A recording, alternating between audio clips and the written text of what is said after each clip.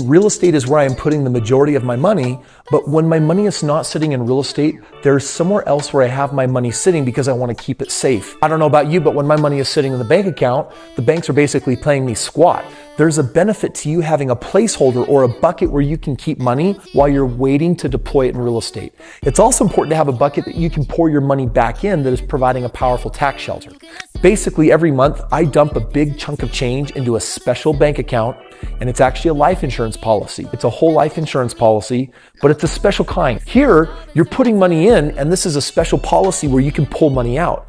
It's as if your life insurance policy turns into a special kind of bank and a special type of bank account, and one that you can access relatively easily while giving you some pretty important benefits. Kris rather have his money in the special design life insurance policies instead of the bank.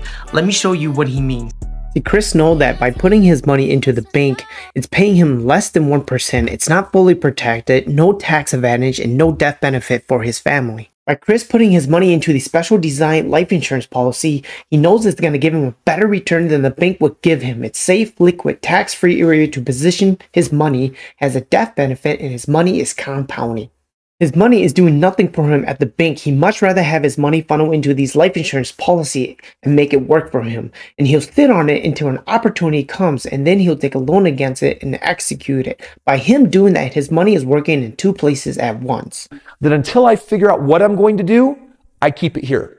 My rainy day account, I keep it here. My sleep well at night account, I keep it here. Basically, when it comes to my family safety or my emergency fund or money that I am parking that I want a tax shelter on while I'm waiting to deploy it into my next investment, I want a smart, intelligent place to keep it. And for me, that is this very, very specific designed life insurance policy.